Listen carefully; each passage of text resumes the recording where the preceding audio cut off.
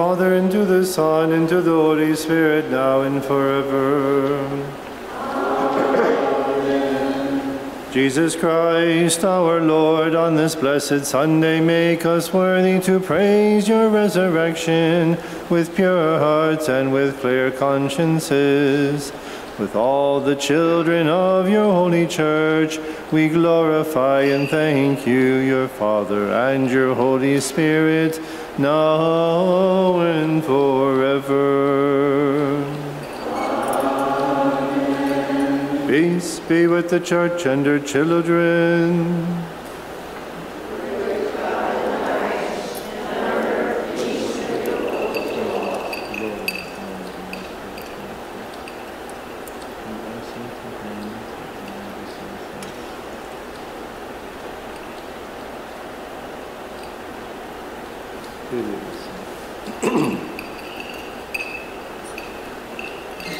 Let us raise glory, honor, and praise to the good and merciful Lord, who in his compassion came down to us and became flesh. He chose to taste death to save us, and he descended to the realm of the dead. By his resurrection, he gave joy to his disciples and gave light to the nations with the light of his salvation. To the good one be glory and honor on this blessed Sunday and all the days of our lives and forever. O Word of God, who can adequately praise you for the depth of your compassion, and what voice can bless you, for you are above all praise. Neither mind nor tongue can describe the wonders you accomplished on Sunday, the day of your resurrection from the dead. And so, with the psalmist David, we cry out. This is the day the Lord has made. Let us rejoice in it and be glad. Now, O Christ our God, we ask you with the fragrance of this incense which we offer you to forgive our sins, give peace of mind to those in distress, and comfort to those who are anxious. Bring back those who are far, and watch over those who are near. Guide the shepherds, sanctify the priests, and purify the deacons. Pardon all sinners and guard the righteous, protect orphans and help widows. Drive away all conflicts and put an end to all dissension.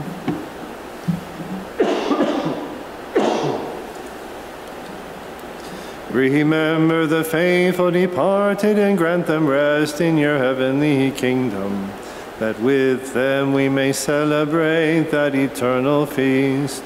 We raise glory to you, to your blessed Father, and to your living Holy Spirit, now and forever.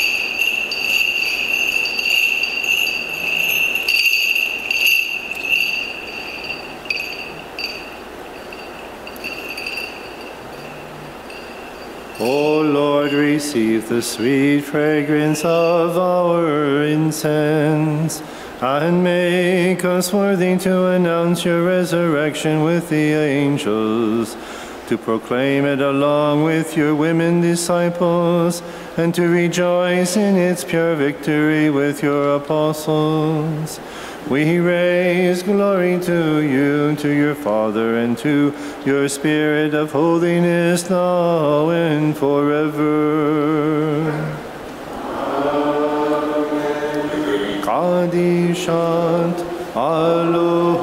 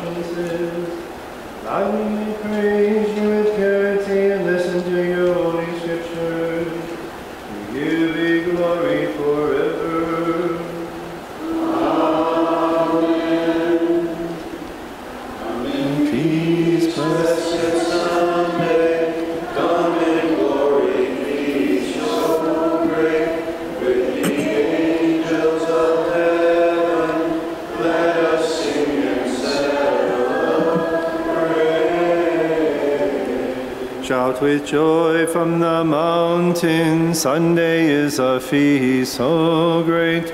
Offer praise to the Lord God and with angels celebrate.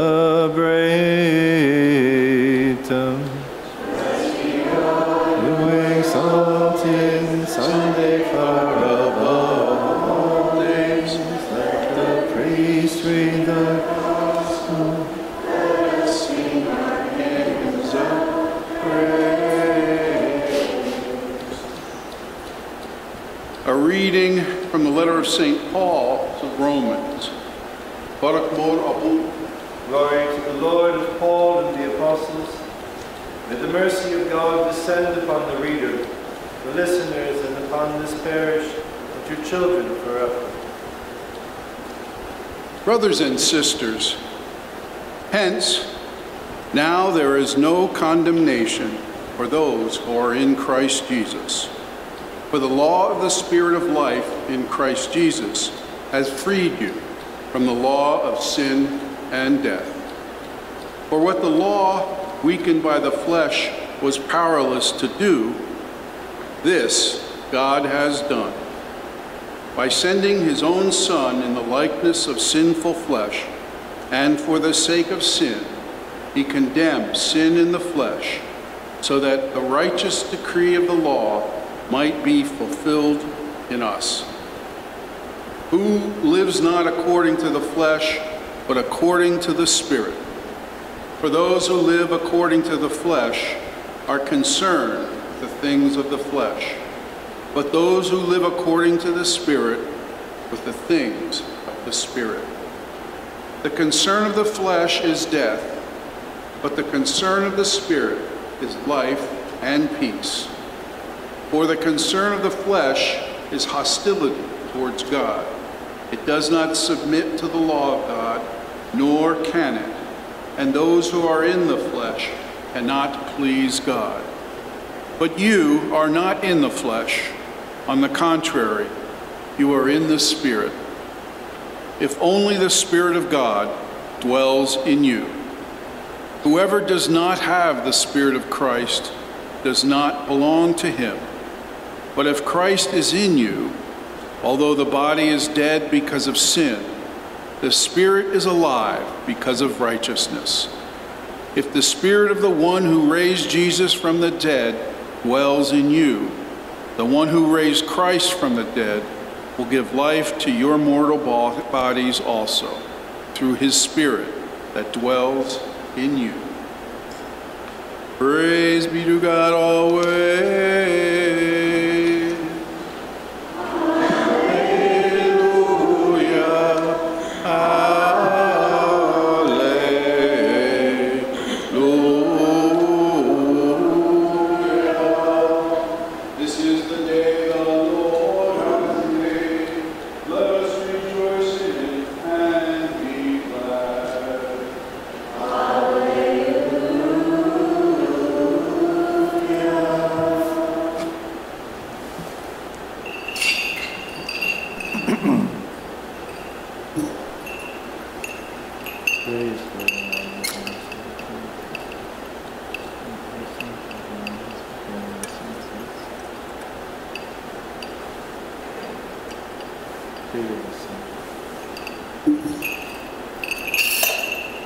Before the proclamation of the gospel of our Saviour announcing life for our souls, we offer this incense and ask for your mercy, O Lord.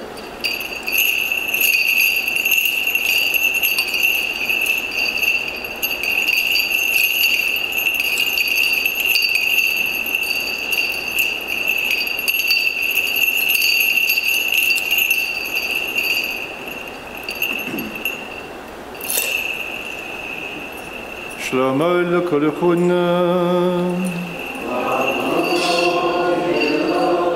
From the Gospel of our Lord Jesus Christ according to Saint Matthew, who proclaimed life unto the world. Let us listen to the proclamation of life and salvation for our souls.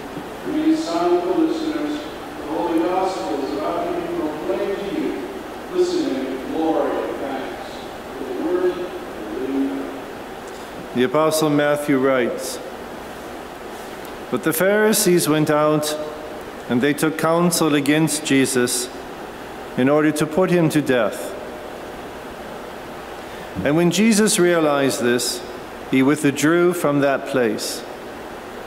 And many people followed him, and he cured them all, but he warned them not to make him known. This was to fulfill what had been spoken through Isaiah the prophet. Behold, my servant whom I have chosen, my beloved, in whom I delight. I shall place my spirit upon him, and he will proclaim justice to the nations. He will not contend or cry out, nor will anyone hear his voice in the streets. A bruised reed he will not break, a smoldering wick he will not quench, until he brings forth the justice unto victory. And in his name the Gentiles shall hope. This is the truth, peace be with you.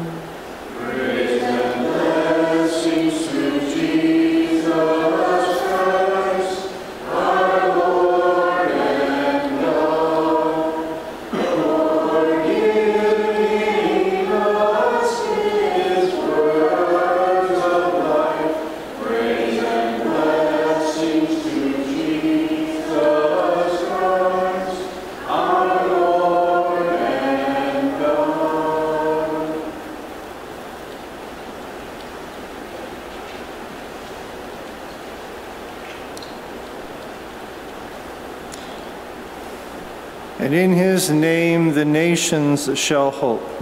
In the name of the Father, of the Son, of the Holy Spirit, amen. So the Pharisees are not demonic.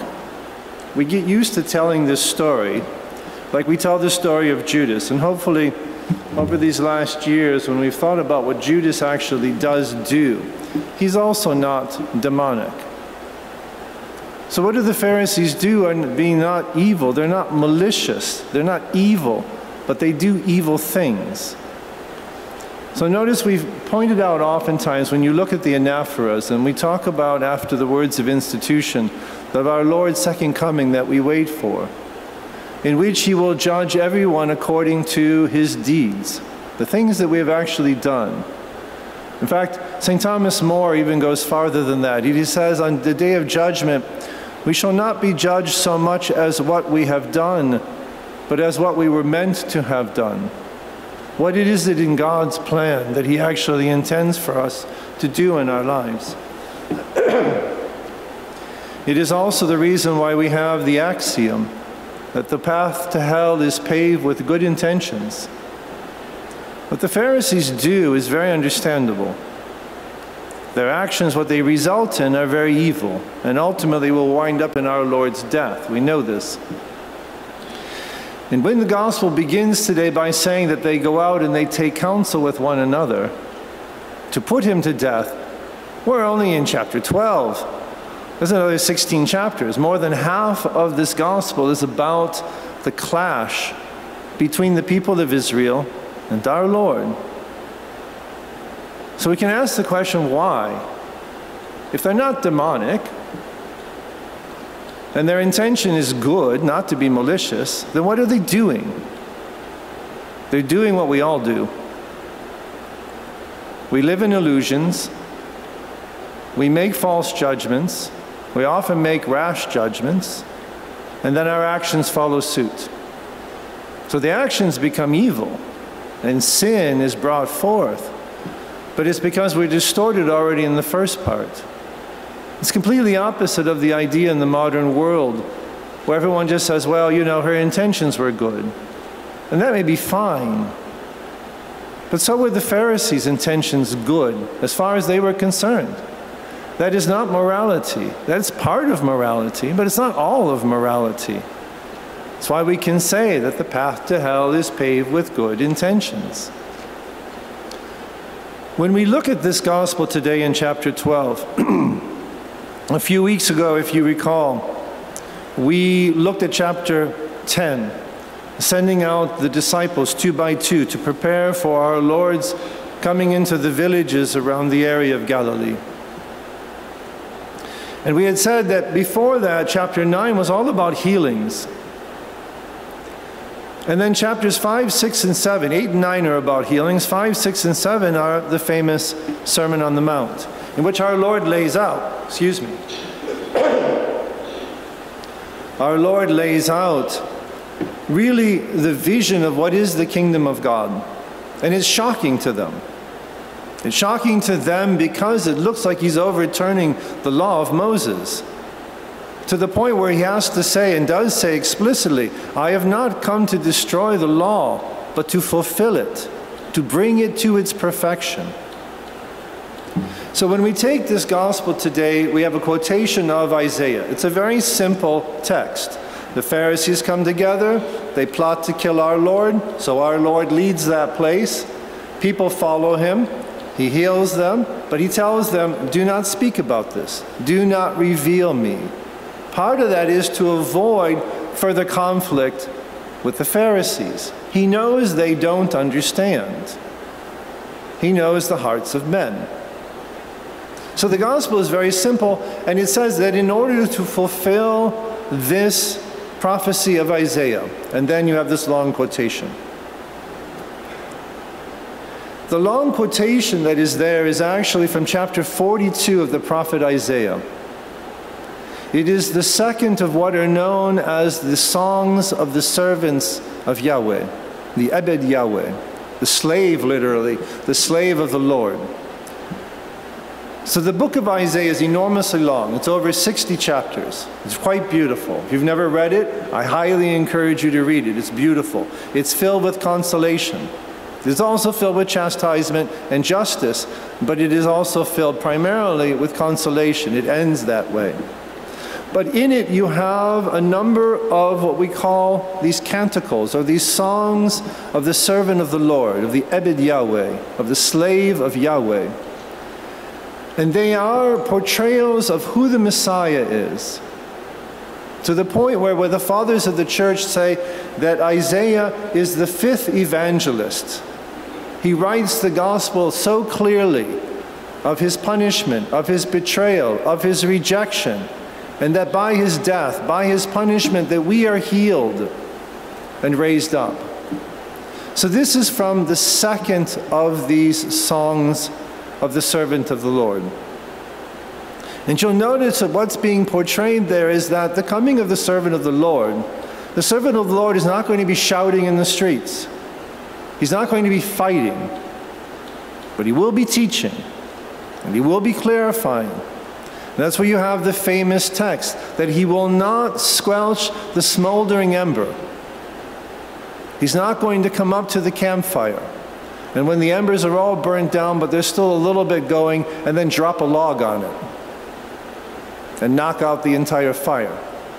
This is the image that's being given.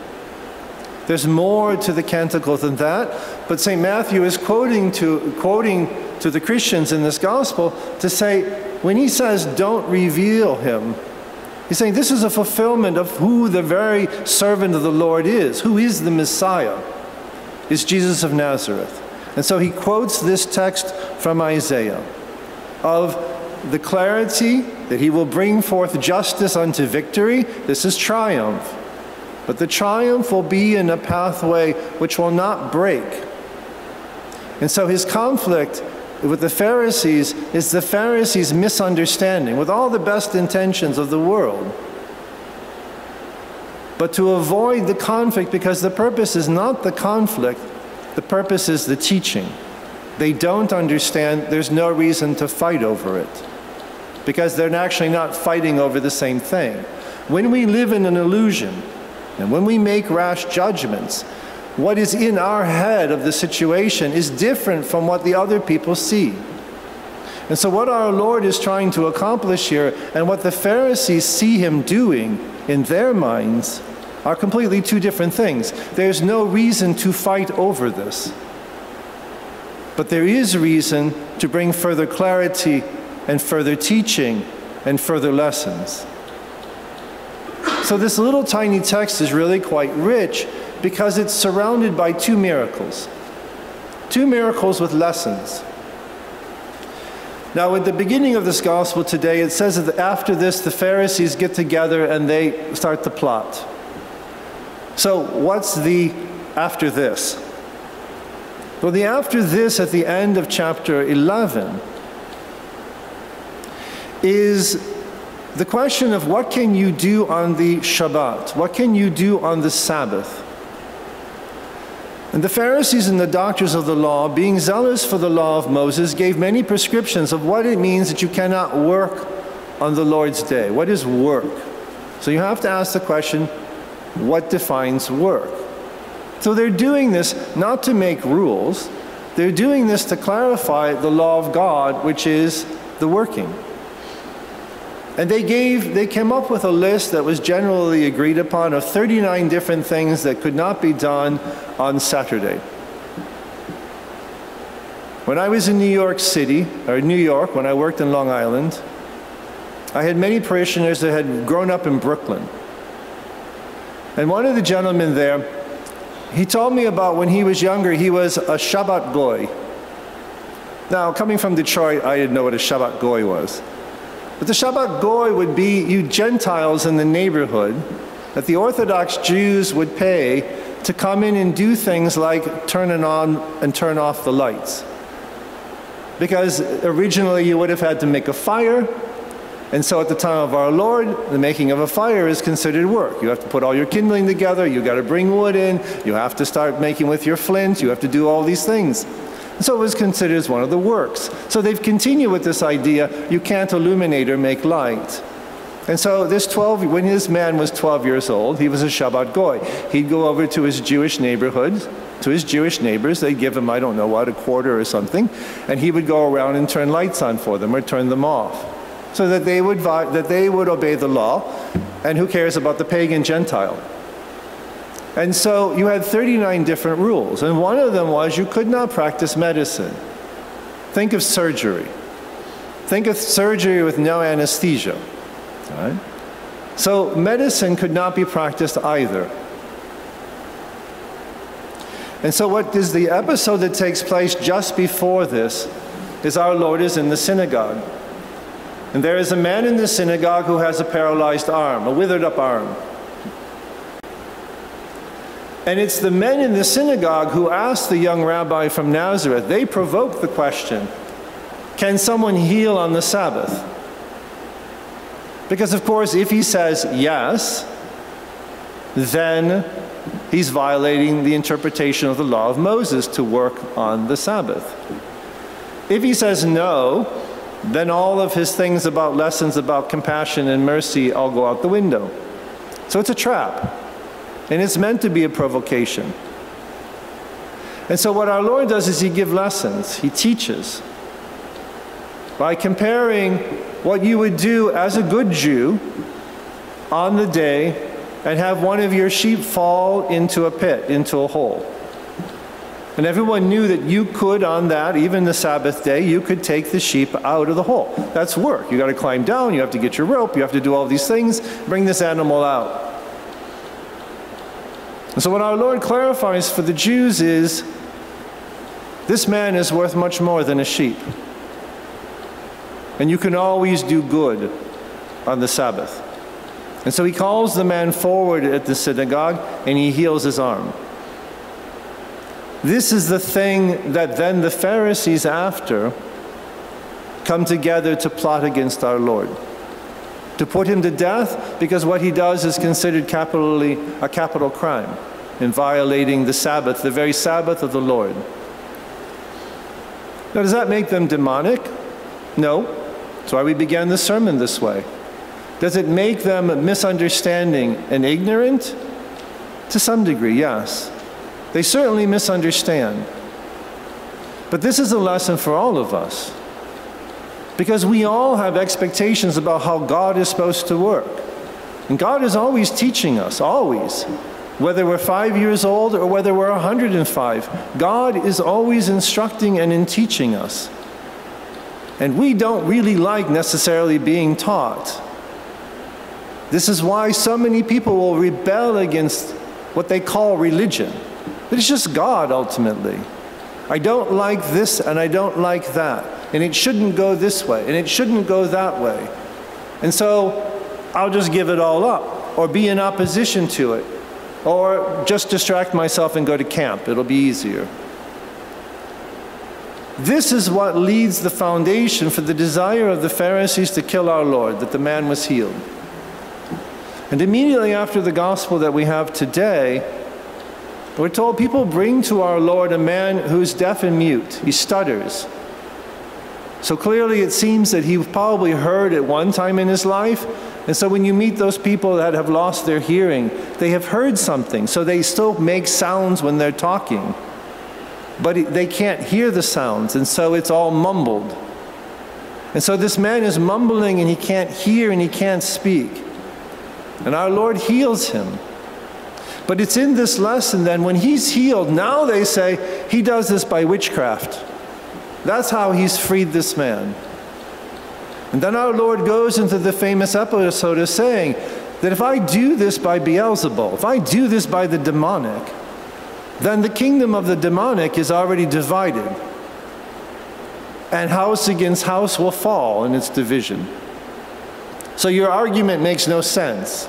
You want me to be demonic, then you say, by the demonic, I do what is good. This is the context in which our Lord says that he who is not with me is against me.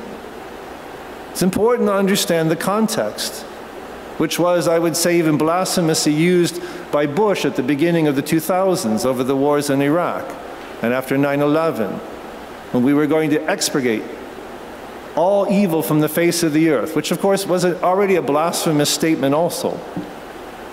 It is important as Catholics that we understand the context of where these teachings are coming from. And when our Lord is saying, He who is not with me is against me, He's saying, I come to bring life and to teach and to illuminate. When you fight against me because of your illusions, you are necessarily in opposition to that grace that has been given to you to learn. So he who is not with me, the Messiah, the teacher of all the nations, then you're in opposition to me. And this will only finish badly. This is not a statement of arrogance, it's a statement of therapy. Your physician could say the same thing. You don't follow my prescriptions, you will die. If you do not do these treatments, you will die. You can freely choose not to do the treatments, not to take your meds or do your exercises or whatever it is, your PT. You can choose to do that, but you will cripple yourself and you will die, or both. And so when our Lord says this, it's actually a voice of the desire to bring healing in these conflicts that they've had in both of these situations. So hopefully now you understand the gospel that's read today. Our Lord is not trying to just go along to get along. But our Lord is not going to fight where fighting serves no purpose. There's no reason to have a clash with the Pharisees who are totally misreading the situation. We can apply this to the whole conundrum of the pro life movement. We have the same problems.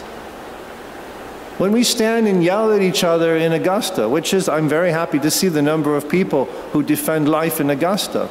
But the problem that we have is that no one on the opposite side of that hallway thinks they're evil. They think they're doing good things and helping women and helping even babies ultimately by killing babies. Of course, it makes no sense. But unless we actually understand where we're coming from and what we're actually trying to do, because if you ask both sides of those hallways, they're all going to say we would want the optimal health care for everyone in the state of Maine. They'll all say that. They'll all say we would like to have conditions for the flourishing of human life to the very best degree possible in Maine. Both sides of the hallway are going to say that. The problem that we have is what is human life? What is human flourishing? And what does medical care actually mean? That's where the arguments are about. The babies and the, and the abortions are just the evil effects of distorted minds, of misunderstanding these essential questions. So it's an application in the modern world of what our Lord is doing in this chapter 12. It's pivotal between the two episodes in the synagogue and the healing of the man who is not by accident deaf and mute. He cannot hear, and therefore he cannot speak. Which, of course, in the gospel means he cannot hear the voice of God. And so, what praises he could possibly give are all mumbled and mutilated. The man himself is an example of the distortion of the mind of the people around our Lord. And unfortunately, to some degree, each of our lives as we go through life, that we have to work through this illumination of a clarity of self knowledge of what we're doing and of the desire to know what God is doing in our lives. So that in the end, what our prayers have to be each day is to stand before the merciful one, to ask really two fundamental questions. One is to know myself in the divine light. And the second is to ask for God to speak and to show me in my life what I am meant to be doing. Ultimately, that will end in the seven gifts of the Holy Spirit. So read chapter 11 and chapter 12 of St. Luke in the fullness and come to appreciate the beauty of the patience, the long suffering, of God in our regard. So many times we live in these illusions and we get upset with God's providence. God is not wrong, but we live in an illusion. The Pharisees are not evil in the synagogue that day, but what they desire to do in their misunderstanding and their illusion is evil. We sin so often because we desire the wrong things for all the right reasons. And so we live in illusion and deceive ourselves. We have to pray that God reveal himself to us day after day, and that in that divine light we come to know who we are. As I always explain in the confessional, we say how many times we have sinned, not because God needs to know this, but because we need to know this. To come into confession after a year and a half and say, I lie, well, that's a good start. But do I lie once in the year and a half?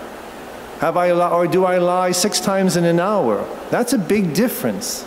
Again, God and the priest don't need to know that.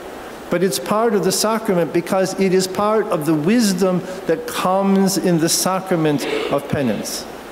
That bring us a self-knowledge so that we will be freed from the possibility of walking the desperate path that the Pharisees walked and finished in things in their lives in such a bad way for all the right intentions. So before the merciful one, we ask for that grace to know his will, to understand, to ask for teaching, and to know ourselves before that divine light of the merciful one. In the name of the Father, of the Son, of the Holy Spirit, amen.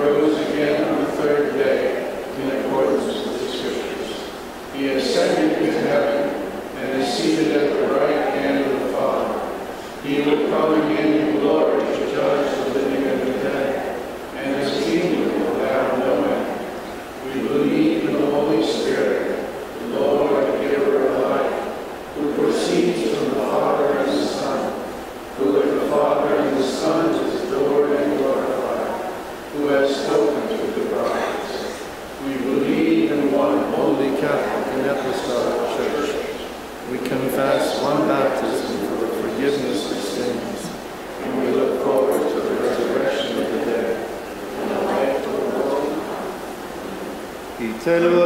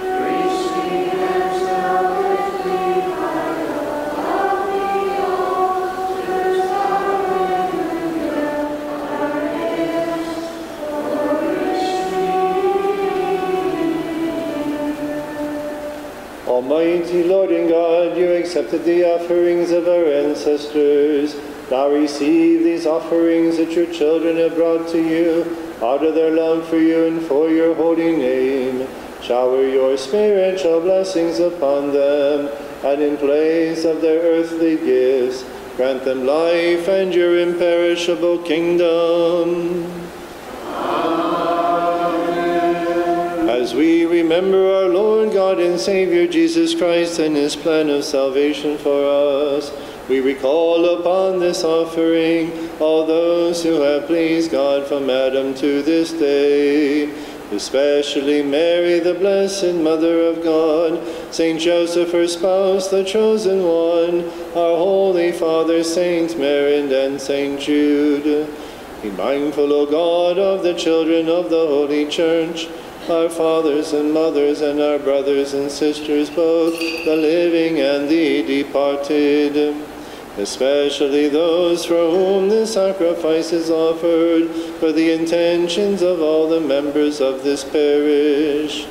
Remember also all those who share with us today in this offering.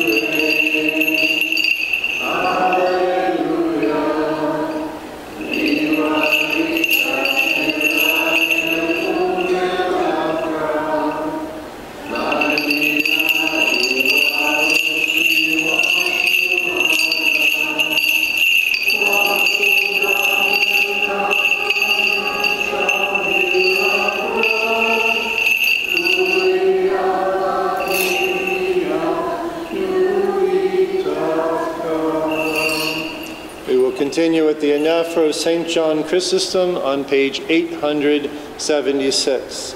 876. Glory be to the Father, and to the Son, and to the Holy Spirit, now and forever. Lord God and Father, holy and glorious is your name. You deliver those who love you from all that is contrary to your will. May we who have remained in your divine love be made worthy to give one another the greeting of peace with a holy kiss. May we always speak words of peace, think of peace, and work for peace. Through the grace of your only Son and his love for all people, we raise glory to you, to your living Holy Spirit, now and forever.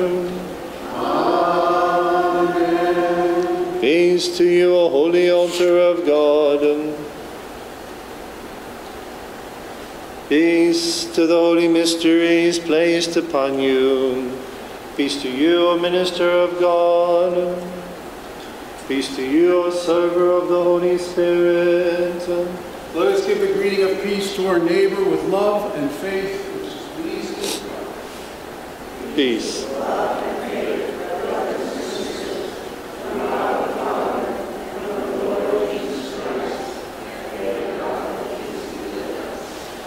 O Lord, on high, hidden from all creation, you are peace, reconciling those who are enemies. You are forgiveness to those who sin, and you are comfort to those who are sorrowful. Open the door of your mercy to our petitions, and in the abundance of your grace receive our prayers. Make us children and heirs of your kingdom, through the grace of your only Son and his love for all people, and through your Holy Spirit, now and forever. Amen. O Lord, you are adored by all, angels bless you, humanity exalts you, and all creation glorifies you. Look upon your children who call out to you. With purity and holiness, may we offer you an acceptable sacrifice, that we may raise glory to you, to your only Son, and to your Holy Spirit, now and forever. Amen. The love of God the Father and the grace of the only begotten Son and the communion and indwelling of the Holy Spirit be with you, my brothers and sisters, forever. Us lift up our thoughts, our minds, and our hearts. We lift them up to the Lord. Let us give thanks to the Lord with reverence and worship him with humility. It is right and just. Truly it is right and just to thank, adore, glorify, and bless the majesty of the one consubstantial Trinity, Father, Son, and Holy Spirit, a majesty that does not need our glory or become greater with our thanks. O Lord, those who sing your praises are countless, and they cry out with angelic voices and with sweet melodies proclaiming. Praise you, Lord God of hosts. For you have exalted our weak human nature. In your mercy you sent your only Son of. He died for the Virgin and the way of life forever. He took the form of a slave, and yet truly he is the Son of your Majesty. He willingly became man to make us divine. He was born from a woman's womb, that we may be born again from a spiritual womb. He became our brother so that through his grace we may become your children and heirs. He took us from being slaves and made us your children. He promised us a share in the reward that allows us to call you Abba. He cleansed us from our sins with his precious blood that he poured out for us, for he is your only Son. Kyrie eleison. وبيم خودكتم خشوري لما بد انسام الحم بلا قولي شنتو وبارك وقدش وقصو يا بنت الميدا قارو مارا سابخ لمهني كل خون حون دنيتا فخرون فيكون واخلف ساقيا. ما تقسي وما تهاب. وصويا حامي وحاي دلق علم علمين آمين.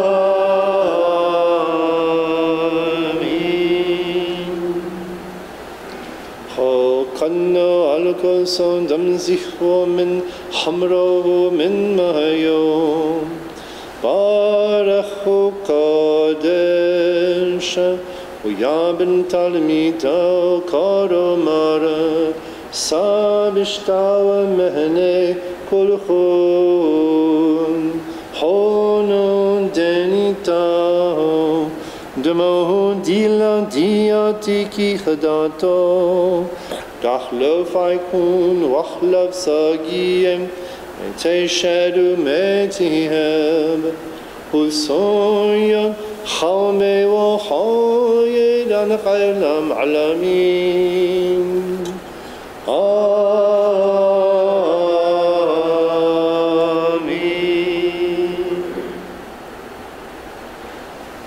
Do this in memory of me. Each time you eat this bread and drink this cup, you remember my death until I come again.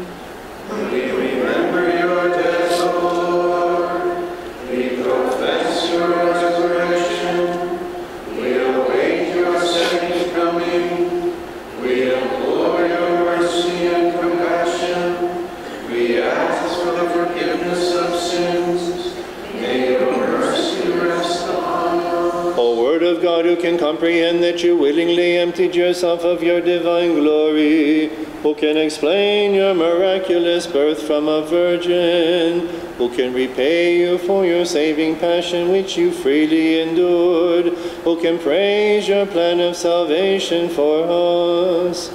We can only ask of you, a lover of all people, that the sacrifice which we have offered be accepted on your altar in heaven, the dwelling place of your hidden divinity, in the company of all the angels and saints. Through this sacrifice, may we be worthy of the forgiveness of our sins. When you come to judge the living and the dead, do not pass judgment upon us, nor deny us, saying, I do not know you. On that glorious and fearful day, do not separate us from you, nor cast us out of your paradise to a place of weeping and gnashing of teeth. Rather, because of your holy name by which we have been called, look with mercy upon us. In your compassion, you have made us worthy of the gift of your forgiving body and blood. So make us worthy to be one with you in holiness, as you are one with your Father. For this your church implores you, and through you and with you implores your Father, saying,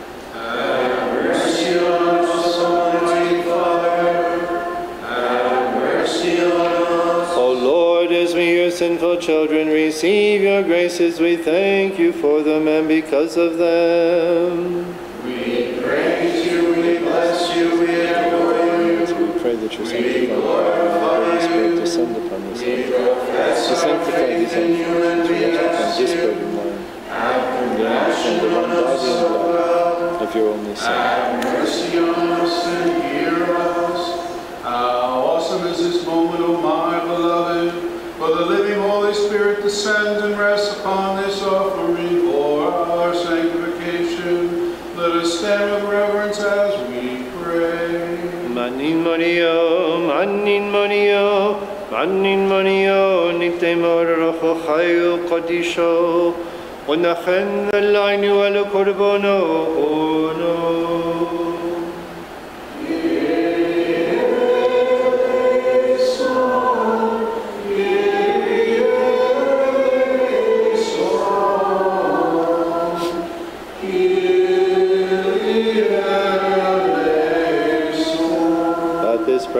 The body of Christ our God, be for us a pledge of the life to come, a body that grants us the everlasting joys of heaven, a body that renews our souls and bodies, a body that purifies us of all sin for eternal life.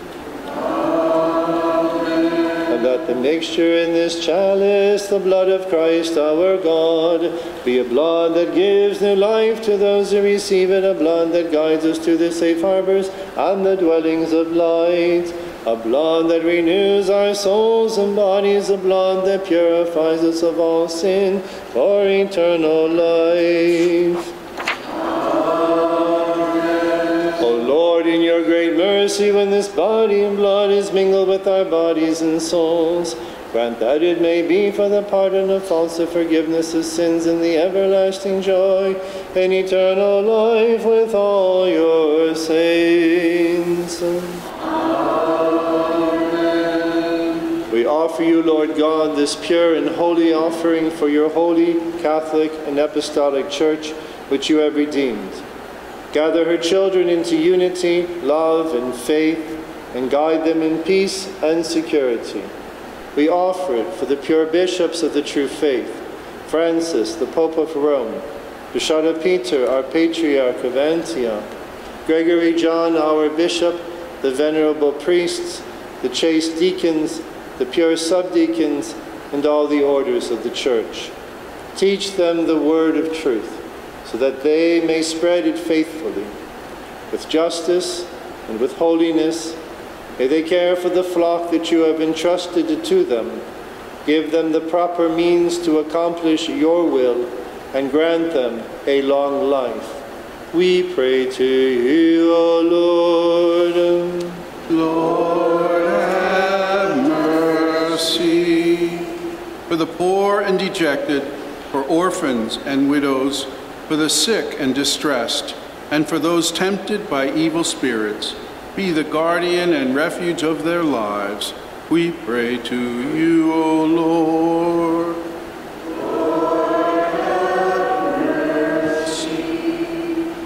Remember the Holy Fathers, prophets, apostles, preachers, evangelists, martyrs, and confessors, especially the holy, glorious, and blessed ever Virgin Mary, Mother of God, St. John the Baptist, the messenger and forerunner, who witnessed the betrothal of your holy church to your Son, glorious St. Stephen the Archdeacon and first martyr, and all who pleased you and professed your name. We pray to you, Lord. Lord For all the faithful departed who have gone to you from this altar and from every place throughout the world, grant them rest in your heavenly dwellings with all your saints, and in your mercy forgive our sins and theirs. Grant rest, O God, to the departed, and forgive the sins we have committed, with or without full knowledge. O Lord, do not deprive us of your mercy, but keep us in the palm of your hand, lest we fall and go astray, so that we may walk on your paths, follow your ways, and do your will. Forgive us and our departed, and pardon all sins and transgressions, hidden and seen, committed with or without full knowledge. Make us worthy of a faithful Christian death that is pleasing to you and join us to your righteous ones and to those who have done your will, that in us and in all things your blessed name may be glorified with the name of our Lord Jesus Christ and of your living Holy Spirit, now and forever. As it was, is now, and shall be forever. Amen.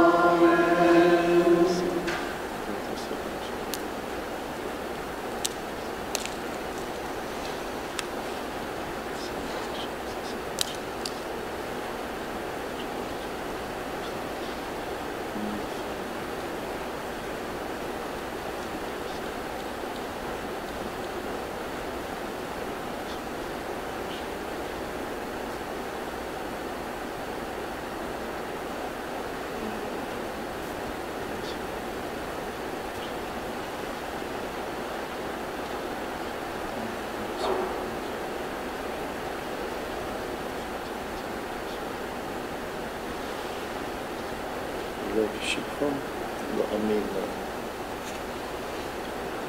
Lord, um, you are the pleasing oblation who offered yourself for us. You are the forgiving sacrifice who offered yourself to your Father. You are the high priest who offered yourself as the Lamb. Through your mercy, may our prayer rise like incense, which we offer to your Father through you. To you be glory forever.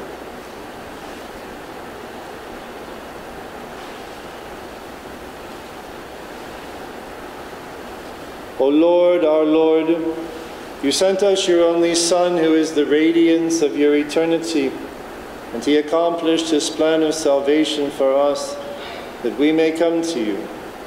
May we call upon you with the prayer that he taught his holy disciples, saying, Our Father, Who art in heaven, hallowed be thy name. Thy kingdom come, thy will be done, on earth as it is in heaven. Give us this day our daily bread, and forgive us our trespasses, as we forgive those who trespass against us.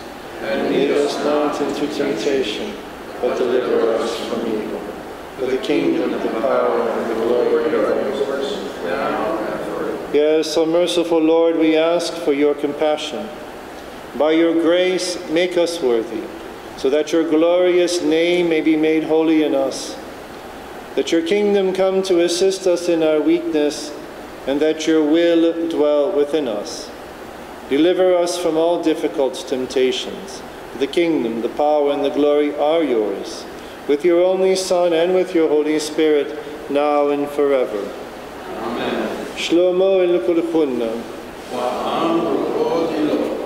Bow your heads before the God of mercy, before his forgiving altar, and before the body and blood of our Savior, who gives life to those who partake of him, and receive the blessing from the Lord. O Lord God, you are good and the lover of all people.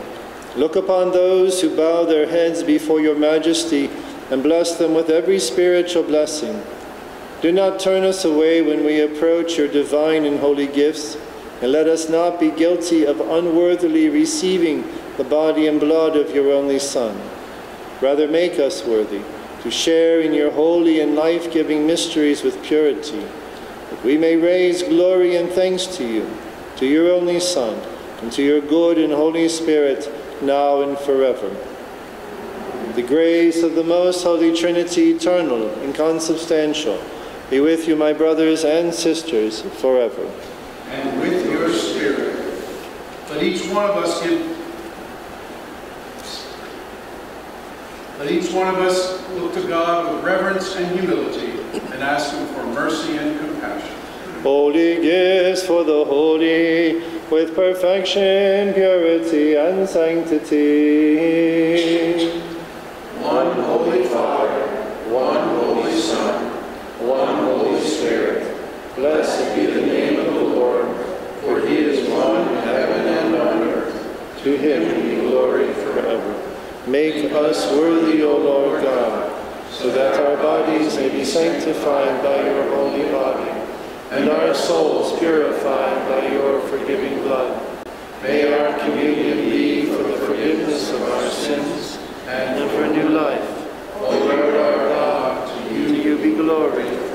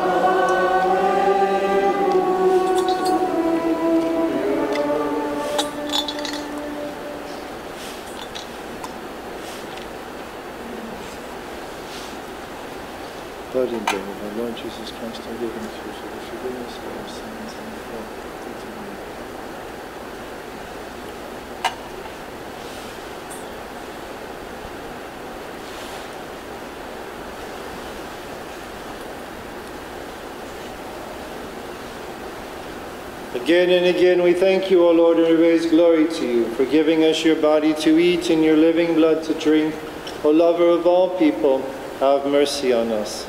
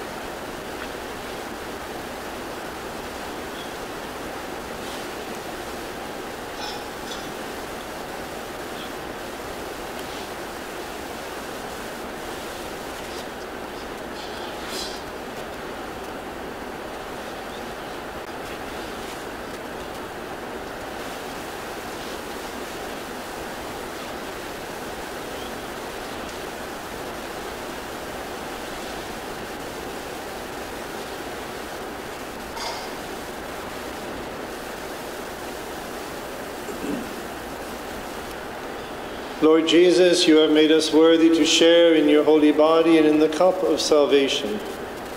How can we repay you for these, your gifts and graces, and for your goodness?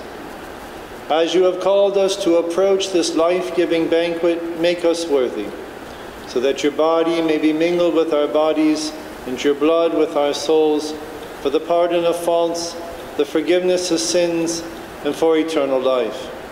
You are blessed, and your kingdom is holy, and we raise glory to you, to your Father, and to your Holy Spirit, now and forever. Shlomo. O God the Father, we bow before you and we entrust ourselves to your care.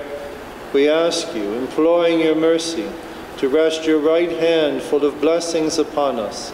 Assist us, protect us, bless us, and sanctify us by the cross of your only Son.